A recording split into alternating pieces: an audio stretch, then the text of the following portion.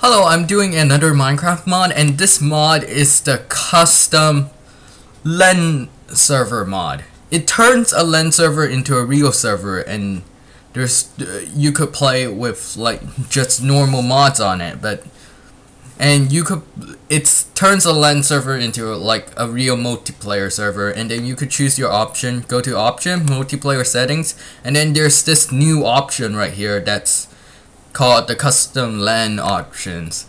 And then you could say what's your MOTD, uh, how many players, PvP, allow animals, online mode, monsters, flight, and then command um, permissions, and then there's the like just the normal um, like commands for like normal servers. That's all there.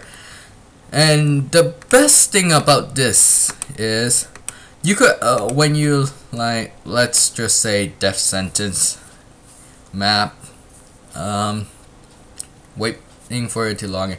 When you open to LAN uh, when you open to LAN um, it will save the port and then the IP address. Don't change this. It doesn't really matter.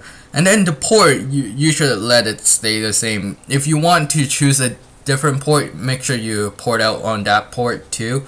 And then you could OP everyone and then you start the LAN world. But when you start the LAN world,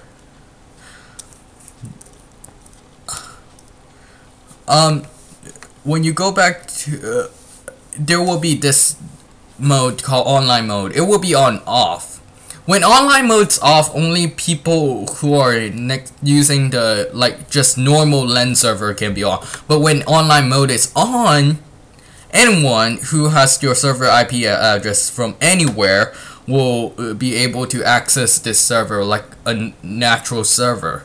So it's really cool about this mod mm, because it allows you to use mods too, like just normal, not server mod, just mods.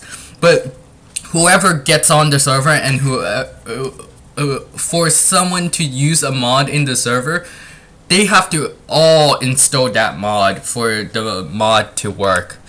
Like oh I did not install any mods. Oh well